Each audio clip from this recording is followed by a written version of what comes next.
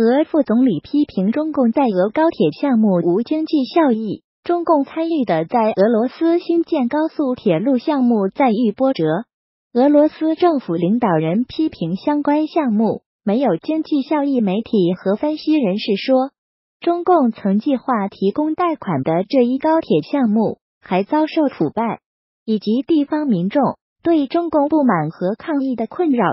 副总理莫斯科喀山高铁。不适合实施。俄罗斯政府第一副总理兼财政部长西卢安诺夫十二月二十五日批评了莫斯科喀山高速铁路项目。他说，这一项目因为根本没有经济效益，不适合实施。西卢安诺夫说，类似的高铁项目通常在人口稠密和人员流动多的地区实施。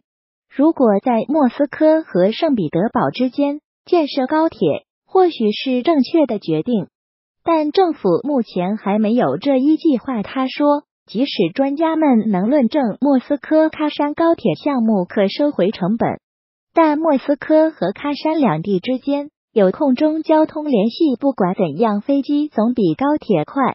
西卢阿诺夫说，如果利用这条高铁往来中国运输集装箱货物，成本将非常昂贵。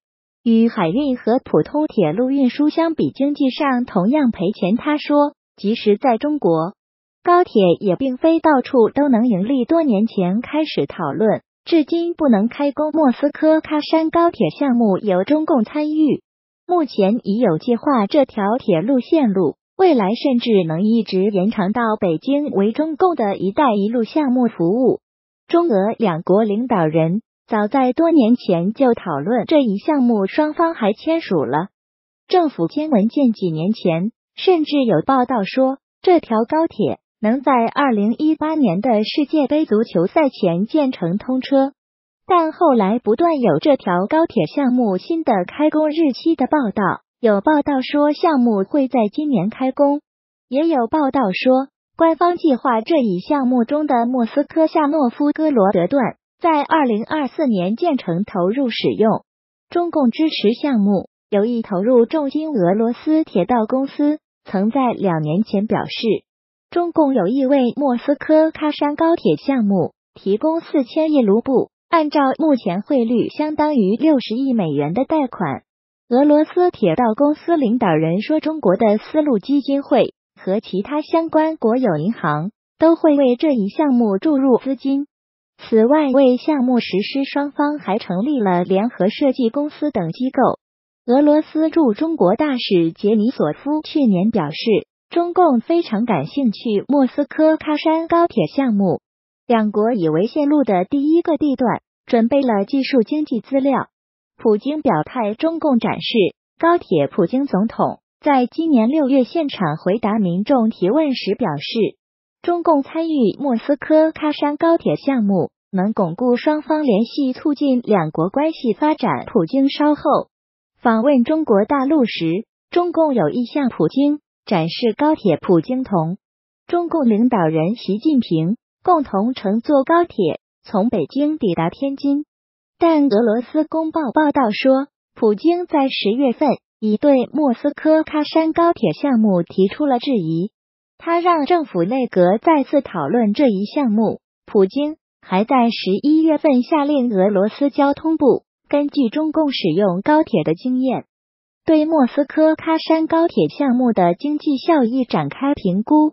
批评声音多。俄罗斯交通部长吉特里赫十一月下旬在上议院联邦委员会表示，莫斯科喀山高铁可能影响航空运输业。他说，这条高铁。不会对公路和普通铁路运输构成威胁，但却是空中航运的主要竞争者。除了副总理西卢安诺夫外，这条高铁项目也受到了其他高级人士的批评。前经济发展部副部长，目前是俄罗斯主要国有银行对外经济银行副总裁的克列帕奇说：“这条高铁未必能达到想要计划的速度。”经济发展部部长奥列什金。一个多星期前也表示，如果在莫斯科与圣彼得堡之间建设高铁，可能要比莫斯科与喀山之间的高铁更有经济效益。